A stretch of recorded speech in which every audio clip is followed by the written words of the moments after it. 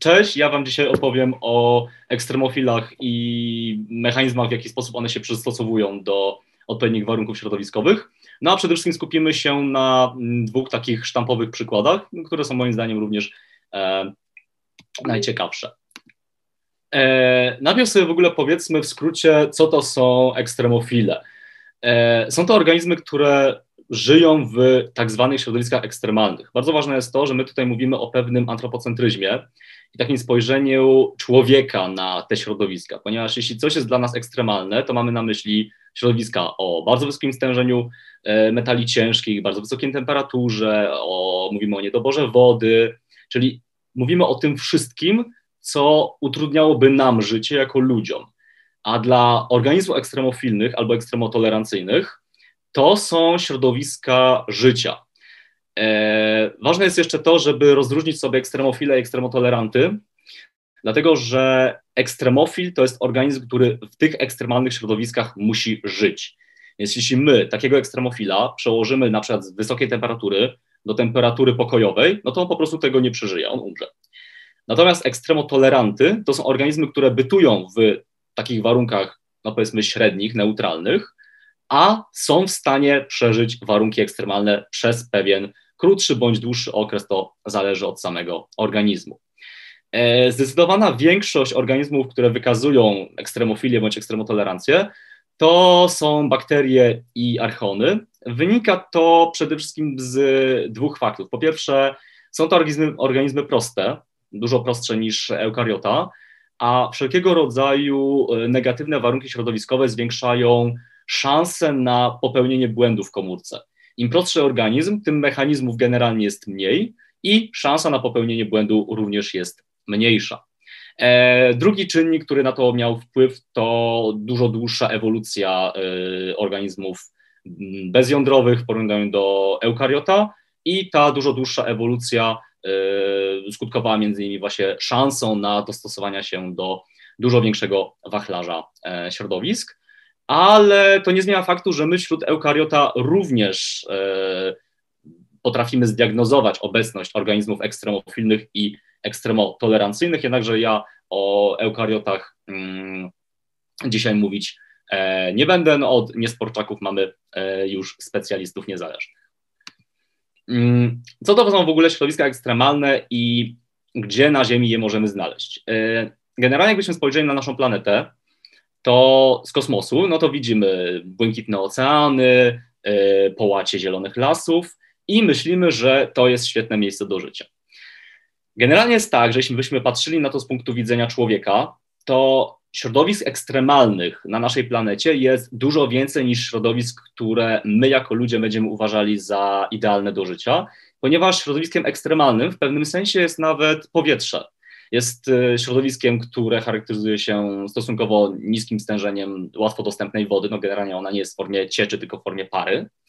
E, I wysoką dawką promieniowania UV, czyli e, już są to jakieś warunki zagrażające życiu pewnym, pewnych organizmów i te organizmy, które w tym środowisku muszą sobie bytować, czyli unosić się w powietrzu albo na jakichś drobinach, które w tym powietrzu się znajdują, to one wykształciły odpowiednie mechanizmy, które e, umożliwiły im uzyskanie e, odporności, oporności na takie e, warunki.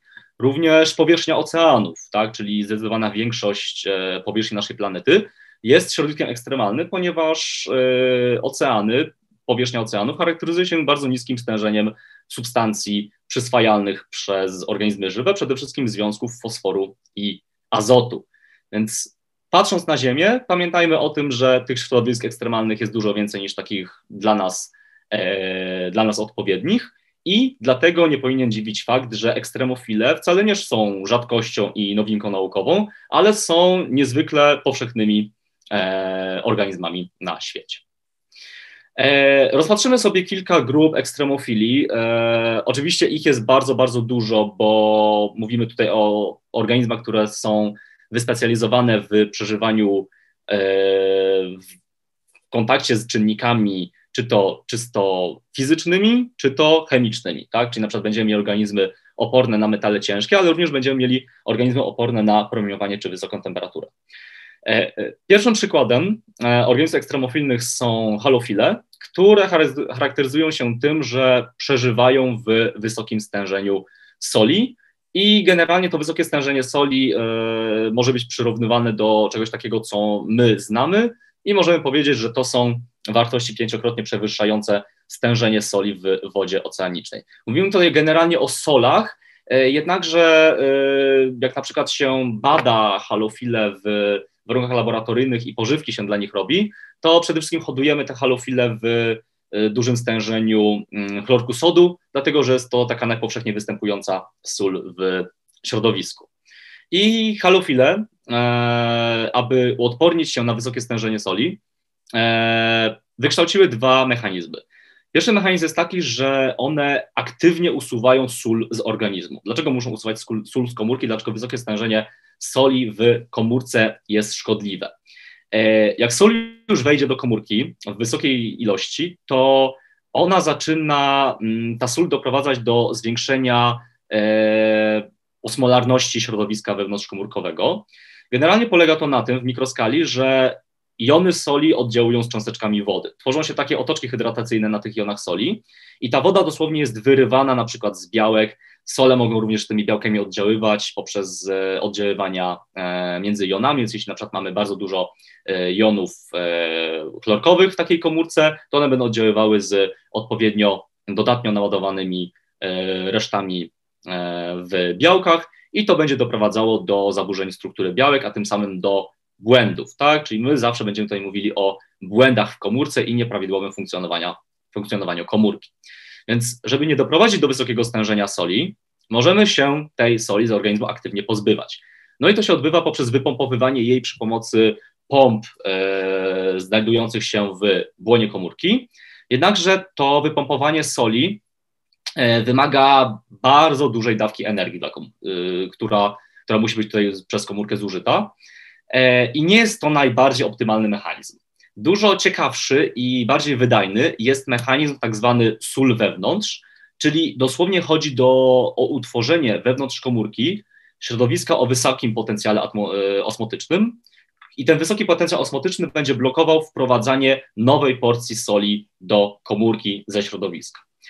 E, skoro sobie mówiliśmy o tym, że wysokie stężenie soli, wysoki potencjał osmotyczny w komórce jest zabójczy, to dlatego, dlaczego niektóre komórki właśnie do tego dążą? Dlatego, że potencjał osmotyczny potencjałowi osmotycznemu nierówny. Chodzi o to, jaki czynnik dokładnie y, odpowiada za zwiększenie tego potencjału.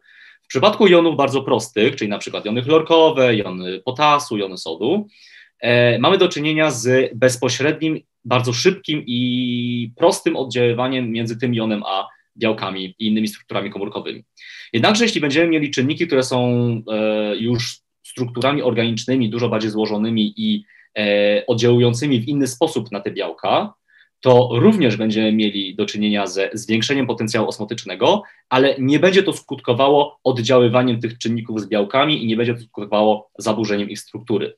Więc te e, bakterie, te mikroorganizmy wytwarzają coś takiego, co się nazywa osmoprotektanty, których tutaj mamy na tej rycinie przykłady i jednym z ciekawszych, no, nad którym między innymi prowadziłem badania jeszcze na studiach licencjackich jest ektoina e, i ektoina między innymi e, obecnie się postuluje, że ma również zastosowanie w biotechnologii, w przemyśle, więc na przykład poszukuje się takiej bakterii, która tej ektoiny będzie wydzielała bardzo, bardzo dużo.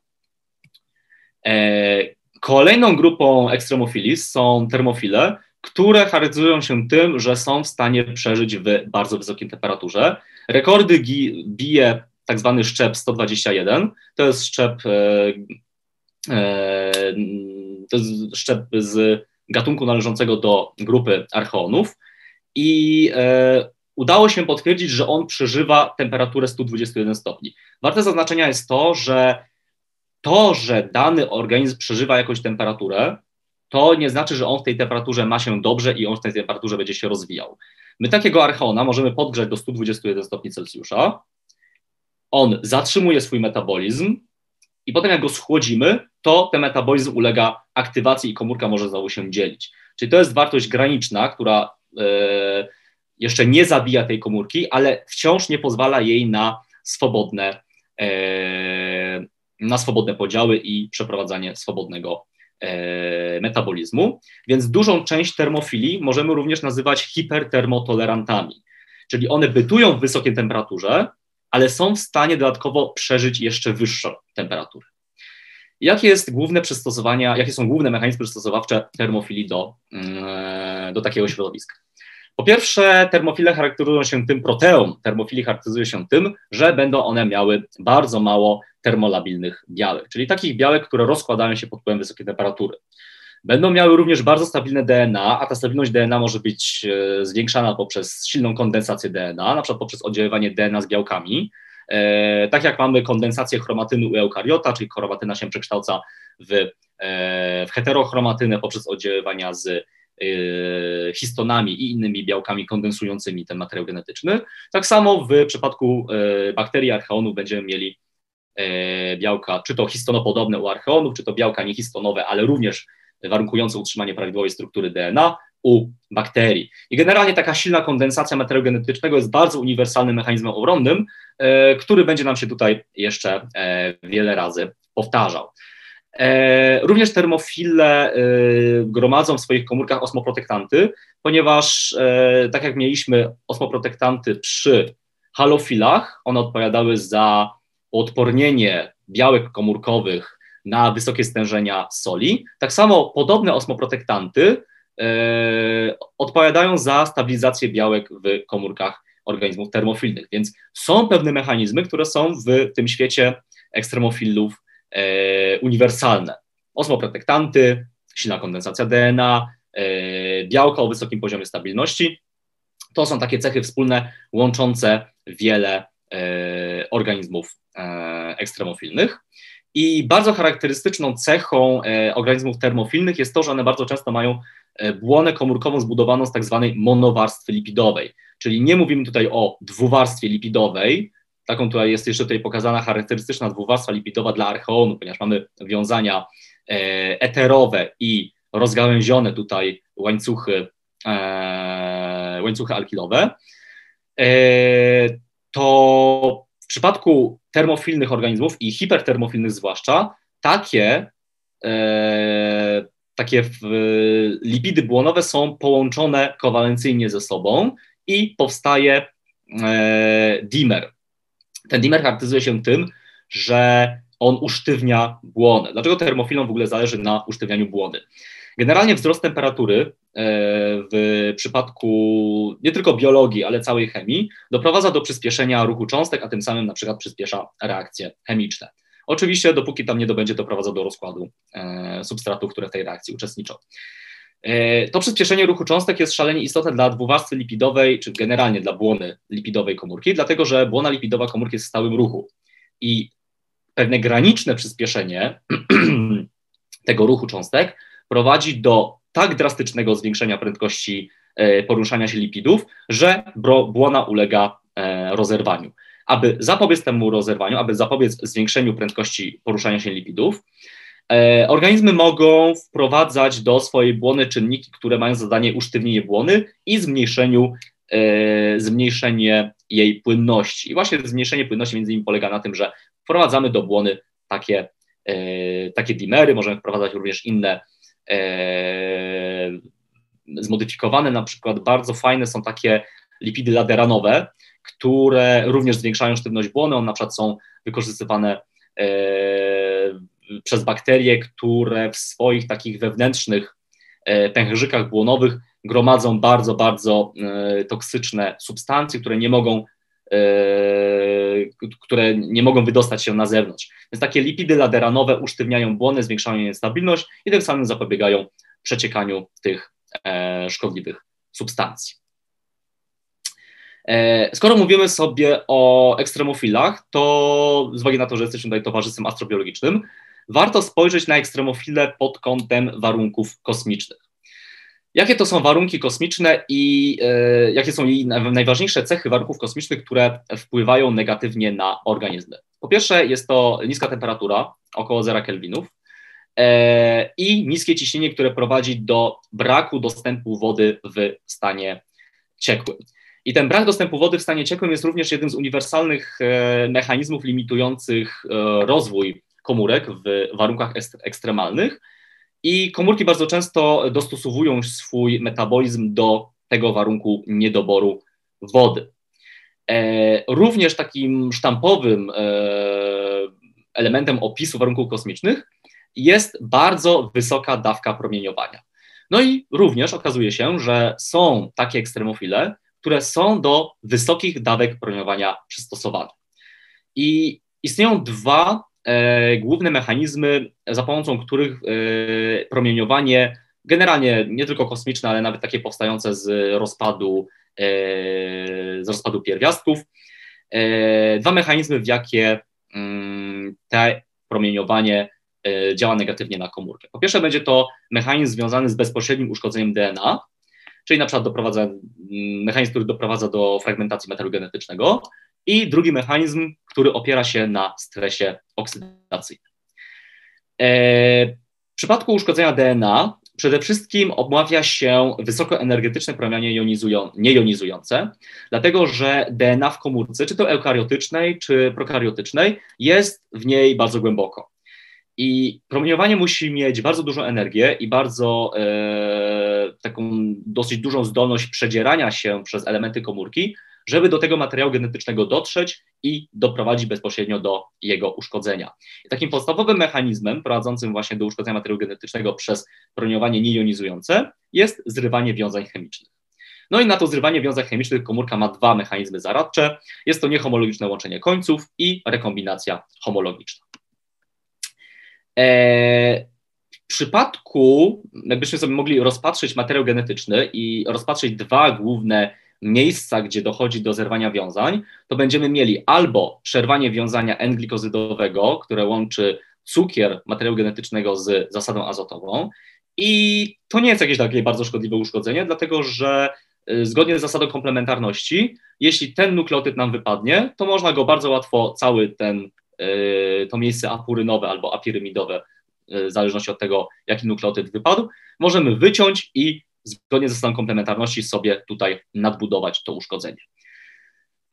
Dużo większy problem jest wtedy, kiedy dochodzi do przerwania wiązań e, difosforanowych, e, tych fosfodiestrowych, ponieważ e, w przypadku przerwania na jednej i na drugiej nici, bardzo blisko siebie, to niekoniecznie musi być naprzeciwko siebie, ale wystarczy, żeby tam było nawet dwa albo trzy nukleotydy przerwy, to jeśli na przykład jeszcze ta komórka bytuje w stresie termicznym, to może doprowadzić do przerwania ciągłości całego materiału genetycznego i w szczególności niebezpieczne są właśnie te podwójne pęknięcia, bo ile pojedyncze pęknięcie komórka może sobie znowu naprawić albo ligazą, albo e, wyciąć fragment uszkodzony i zgodnie z zasadą komplementarności sobie go nadbudować, to podwójne pęknięcie prowadzi do czego?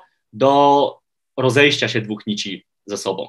E, jakbyśmy sobie na przykład wyobrazili kłębek włóczki i ten kłębek włóczki powiedzmy, że mają trzy osoby i każda z nich ciągnie w swoim kierunku i w tym momencie dochodzi do przerwania tego kłębka gdzieś w jego środku. To przerwanie i napięcie spowodowane tym, że kilka osób ten kłębek ciągnie, doprowadza do jego rozplecenia i do rozejścia się tych dwóch końców, w przypadku komórki nawet do dalszej degradacji tych końców. Więc szalenie istotne jest to, żeby z takimi e, uszkodzeniami, takimi podwójnymi pęknięciami bardzo szybko sobie radzić. E, są dwa mechanizmy, takie dwa, dwie duże grupy mechanizmów, e, jeśli chodzi o oporność komórek na promieniowanie.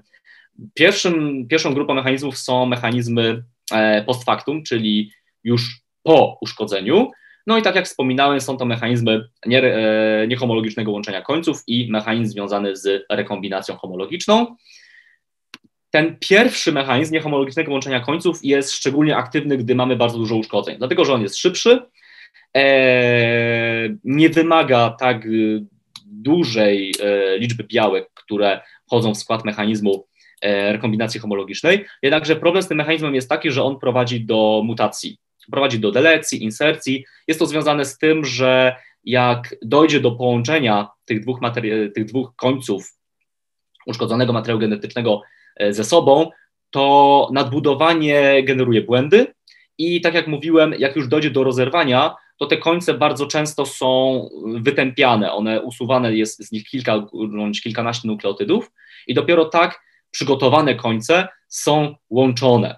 No i takie usunięcie kilkunastu nukleotydów może prowadzić właśnie do bardzo, bardzo poważnych mutacji, yy, które skutkują nawet wyłączeniem całego genu. Więc żeby zapobiec temu, temu yy, takiemu zjawisku mądra bakteria po szkodzie, no to mamy również mechanizmy przed uszkodzeniem, czyli mądra bakteria przed szkodą.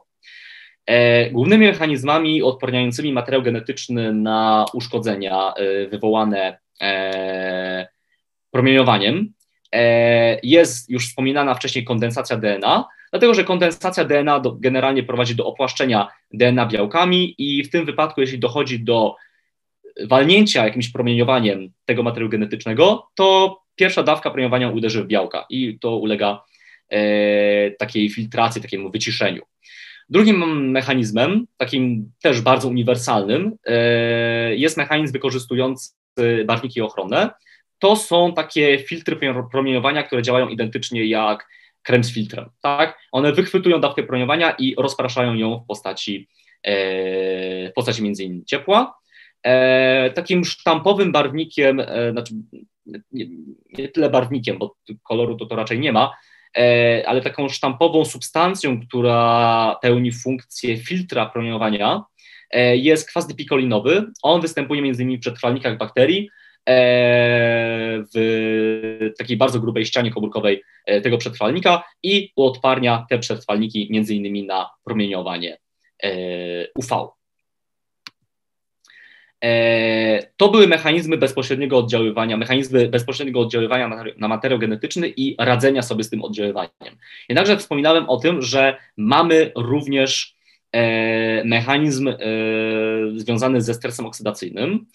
Stres oksydacyjny generalnie to jest takie, taki stan komórki, który prowadzi do zaburzenia równowagi między substancjami utleniającymi a redukującymi czyli generalnie w komórce dochodzi do generowania bardzo, bardzo dużej ilości utleniaczy. I takim utleniaczem, który najpowszechniej w komórce występuje w przypadku właśnie stresu oksydacyjnego, e, są reaktywne formy tlenu i potem reaktywne formy azotu. To chodzi o to, że ten tlen e, reaguje ze związkami azotu, które są w komórce i doprowadza do wytworzenia takiej, takiej kaskady. E, te reaktywne formy tlenu, czy generalnie utleniacze, są dla komórki bardzo szkodliwe, e, no ponieważ doprowadzają do uszkodzenia na poziomie chemicznym tak naprawdę wszystkiego, co w tej komórce jest.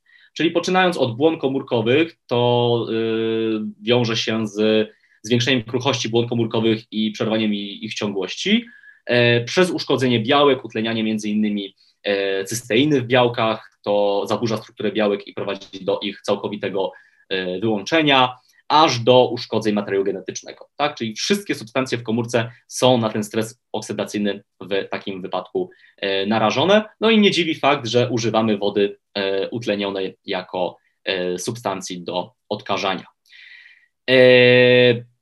Dwa główne mechanizmy prowadzące do zwiększenia stresu oksydacyjnego w komórce to będzie wpływ promieniowania, promieniowania jonizującego na E, struktury komórkowe, przede wszystkim na wodę, dlatego że wody w komórce jest najwięcej. Jak to promieniowanie jonizujące jest naprowadzane na komórkę, no to największa szansa, że z czym ono się zderzy? Właśnie z wodą. Promieniowanie jonizujące, jak sama nazwa wskazuje, doprowadza do jonizacji cząstek. I ta jonizacja cząstek polega przede wszystkim na wyrwaniu e, elektronu z atomów wchodzących w skład tych cząstek. I w przypadku wody będziemy mieli do czynienia z wyrwaniem elektronu z tlenu. Taka woda ulega, powiedzmy, procesowi aktywacji i taka zaaktywowana w cudzysłowie woda e, będzie ulegała dalszym reakcjom z elementami komórkowymi, doprowadzając do kaskady takiego stresu oksydacyjnego. E, drugim mechanizmem o troszeczkę mniejszym znaczeniu jest bezpośrednia radioliza wody. Bardzo ważnym pojęciem, które ma szalenie istotne znaczenie dla stresu oksydacyjnego, i ona nam się jeszcze raz dzisiaj pojawi, jest reakcja Fentona. Reakcja Fentona jest to reakcja e, natlenku wodoru z e, jonami dwuwartościowymi e, metali przejściowych. Przede wszystkim mówimy tutaj o żelazie Z dwóch faktów. Po pierwsze, z dwóch przyczyn. Po pierwsze, żelazo jest takim metalem przejściowym, które w komórce występuje w stosunkowo największej ilości. E, po drugie, jest metalem przejściowym, które z tych mających znaczenie biologiczne najchętniej do tej reakcji Fentona będzie wchodziło. No i reakcja Fentona generalnie prowadzi do nie tylko utlenienia tego e, metalu przejściowego, co wiąże się z tym, że ono już jest, e, że ten metal przejściowy już jest nie do użytku dla struktur komórkowych, w których się on znajdował w formie metalu na drugim stopniu utlenienia i doprowadza do wytworzenia rodnika hydroksylowego, który jest takim jednym z najbardziej niszczycielskich e, rodników występujących w zjawisku stresu oksydacyjnego.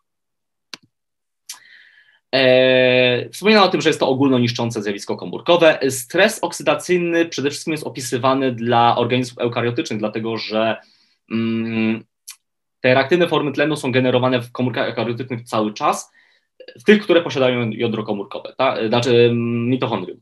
E, ponieważ te reaktywne formy tlenu są efektem ubocznym oddychania e, komórkowego, jednakże nie jest to zarezerwowane tylko dla e, organizmów eukariotycznych, organizmy protokariotyczne również nacechowane są e, tym, że może w nich dochodzić do wytworzenia tych reaktywnych form tlenu. Mechanizmy radzenia sobie z nimi dla jednej i drugiej grupy komórek są mniej więcej podobne.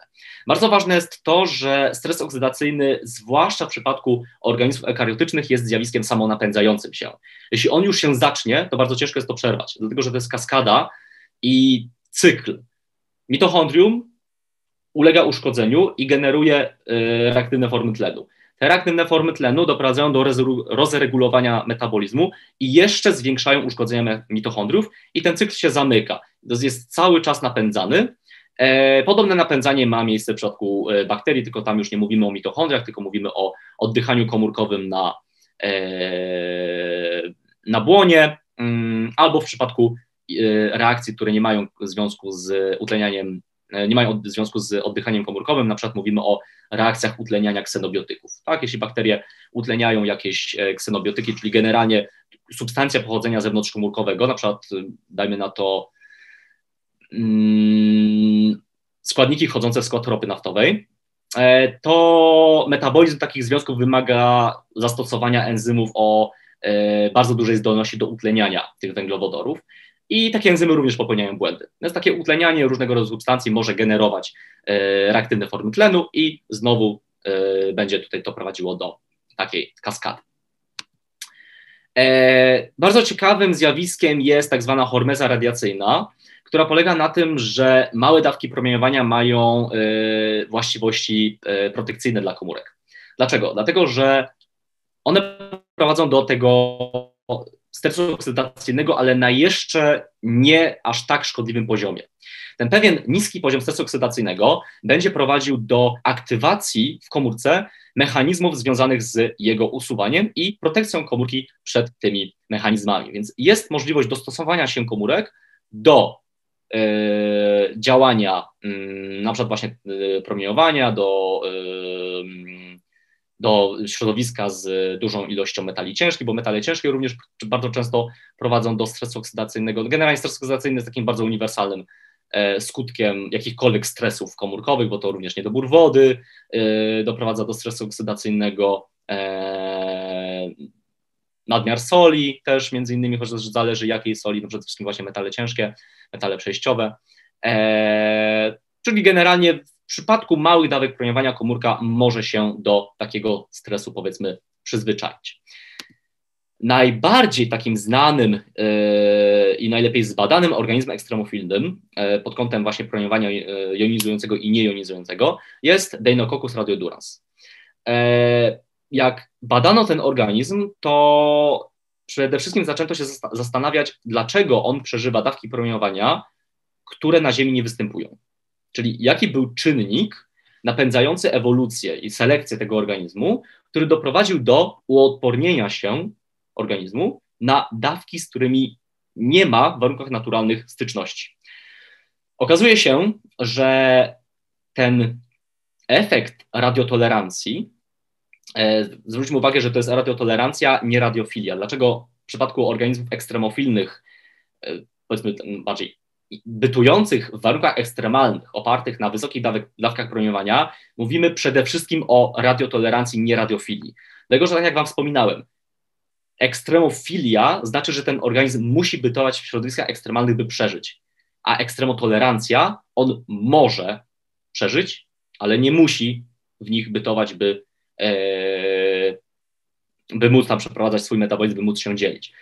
W przypadku promieniowania jonizującego i niejonizującego bardzo ciężko jest tutaj mówić o tym, że to promieniowanie jest tym organizmom potrzebne do przeżycia, chociaż też nie zawsze. E, o tym będzie kolejny slajd. E, więc Deinococcus radiodurans jest organizmem radiotolerancyjnym. Jest w stanie przeżyć wysokie dawki promieniowania, ale nie są one wymagane dla niego, żeby żył, żeby się rozwijał. Okazuje się, że to przystosowanie do wysokich dawek promieniowania nie jest przystosowaniem takim celowym na promieniowanie, ale jest efektem ubocznym przystosowania bakterii do e, warunków mm, bytowania w bardzo niskim stężeniu, w bardzo niskiej, e, niskim poziomie wody, czyli generalnie przystosowanie do dehydratacji. Dlaczego jest to takie szalenie istotne? Dlatego, że e, jak już wspominałem, są mechanizmy, które są uniwersalne dla różnych ekstremofilów i dla różnych ekstremotolerantów, ale również to bardzo rzadko jest tak, że mówimy o ekstremotolerancji, ekstremofilii tylko na jeden czynnik. Z uwagi na to, że te mechanizmy są powszechne e, i uniwersalne, to bardzo często organizm ekstremofilny pod kątem wysokiej temperatury jest również dostosowany do bytowania w środowisku z bardzo dużą ilością kwasu i metali ciężkich. Tak więc w jaki sposób Deinococcus radiodurans przystosował się do niedoboru wody i tym samym do wysokich dawek promieniowania. E, jeden z czynników jest wytwarzanie barwnika karotenoidowego o nazwie deinoxantyna. Dlaczego ten barwnik jest istotny? Dlatego, że e, karoten i w ogóle barwniki karotenoidowe e, są mm, czynnikami antyoksydacyjnymi. Tak? Czyli znowu nam się pojawia stres oksydacyjny. One nie tylko są barwnikami, które chronią przed nadmiernymi dawkami chociażby promieniowania UV, ale są takimi substancjami, które odporniają komórki i struktury komórkowe na stres oksydacyjny. Tak jak sobie wspominaliśmy, stres oksydacyjny jest również tym czynnikiem, który e, jest tutaj e, efektem e, działania na komórkę wysokich dawek promieniowania.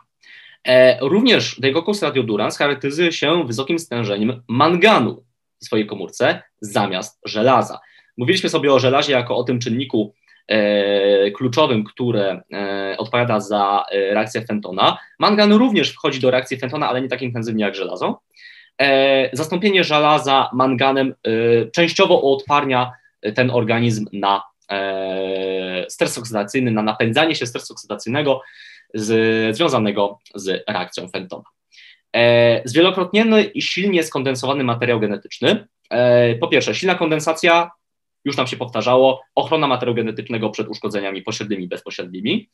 E, zwielokrotnienie. Jeśli ten materiał genetyczny jest zwielokrotniony, to uszkodzenie jednej pewnej puli materiału nie skutkuje śmiercią komórki. Tak? Może być tutaj e, uszkodzony gen zastąpiony aktywnym genem z innego, e, innej, kopii, e, innej kopii genomu. E, Również Deinococcus radiodurans e, posiada bardzo wiele mechanizmów reakcji na tak zwany stres białkowy, czyli wszelkiego rodzaju zaburzenia metabolizmu komórki, które są skutkiem nagromadzenia się nieprawidłowo sfałdowanych białek w nadmiernej ilości, czyli na przykład aktywacja różnego rodzaju procesów prote proteolitycznych, e, gromadzenie tych białek w jednym miejscu, żeby one nie, nie szargały się po komórce i nie uszkadzały innych elementów, e, nawet odkładanie się tych białek w postaci złogów jest mechanizmem ochronnym. Tak? To na przykład y, w przypadku choroby Alzheimera y, jest taki model zakładający, że, zakładający, że złogi amyloidu nie są czynnikiem uszkadzającym komórki, ale są czynnikiem protekcyjnym dla komórek, e, komórek nerwowych. E, I tak samo w przypadku różnych innych e, schorzeń opartych na odkładaniu się, się białych. Więc w bakteriach również mamy taki mechanizm, który zabezpiecza komórkę przed negatywnym wpływem białek e, nieprawidłowo składowanych, właśnie poprzez odkładanie się tych białek, gromadzeniu się w jednym miejscu komórki. Niektóre komórki nawet takie białka usuwają z, e, z siebie, usuwają je do otoczenia, mogą je wydzielać w formie pęcherzyków błonowych, wiele różnych mechanizmów. Wszystkie właśnie są tymi mechanizmami przystosowawczymi dla stresu e, białkowego. Dobra. Mówiliśmy sobie o tym, że Deinococcus radiodurans jest radiotolerantem i wspominałem Wam, że o radiofilach raczej mówić nie można. No i tutaj na scenę wchodzą grzyby radiotroficzne. Okazuje się, że w okolicy elektrowni w Czarnobylu odnaleziono grzyby, które w swoich komórkach zawierały bardzo dużo melaniny. Melanina jest barwnikiem, e, który jest wytwarzany przez nasze organizmy do ochrony przed promieniowaniem e, ultrafioletowym.